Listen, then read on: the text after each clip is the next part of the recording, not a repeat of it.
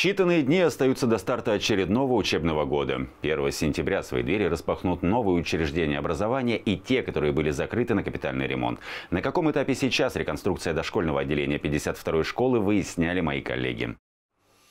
Капитальный ремонт одного из старейших детских садов округа продолжается, но уже сейчас можно в полной мере оценить его преображение. Ни фасад здания, ни его помещения не выдают солидный возраст этого объекта. Старые стены получили новую жизнь. В течение летнего периода проводились активно работы по замене абсолютно всех коммуникаций, кровли, а, демонтаж всего оборудования. А, фактически оставались только от старого садика одни стены. Сейчас мы видим вот на заднем фоне красивый фасад, современный, утепленный. Внутри новая разводка, это абсолютно новые сети, вода, канализация, электричество и самое главное вентиляция. Вентиляции никогда не было. А вот бассейн в этом детском саду изначально был, но не функционировал. С нового учебного года малыши смогут заниматься плаванием. Строительные работы во всем здании уже завершены. Остается подключить оборудование, датчики и передать объект педагогам. Стоит задача 28 числа для того, чтобы строители ушли.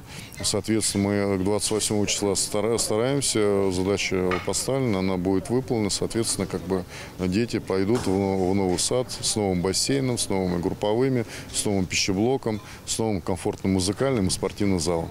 В детском саду разместится 12 групп. Его будут посещать 360 малышей в возрасте от полутора до 7 лет. В следующем году на территории учреждения появятся новые игровые зоны и спортивная площадка. Луиза Игиазарян, Сергей Гвоздев, телеканал ЛРТ.